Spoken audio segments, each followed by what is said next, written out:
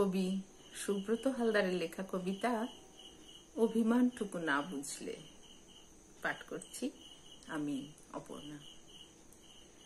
মেঠো আলপথ ধরে তুমি ফিরে যাচ্ছ। মুথা ঘাসের ঘ্রাণ ছড়িয়ে পড়ছে ব্যাকুল বাতাসে। ফড়িংয়ের ডানার কাপনে মিশে যাচ্ছে ছড়া পাতার দীর্ঘশ্বাস। পদ্মবিলের পাশে হলুদ সর্ষে ক্ষেতের উপর এলিয়ে পড়ছে দিনান্তের আলো। মন কেমনিয়া নদীর ওপার থেকে এক ঝাঁক বনটিয়া উড়ে গেল দিগন্ত রেখায়। প্রেম, বিরহ, আনন্দ, সুখের ছোট ছোট আবেগের কোলাজগুলো তোমার পায়ে পায়ে তোমাকে ছুঁয়ে ছুঁয়ে সরে যায়।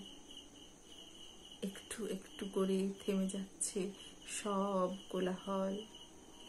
অবাক করা এই নৈশব্দে ধীর পায়ে এগিয়ে আসছে ভ্রষ্ট সন্ধ্যা। ঈশান কোণ থেকে ভেসে আসা মেঘটা ধীরে ধীরে গ্রাস করে নিচ্ছে সমস্ত আকাশ।